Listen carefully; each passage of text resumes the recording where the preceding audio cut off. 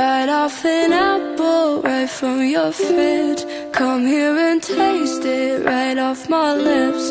Spill your emotions into my hands. That's what I want.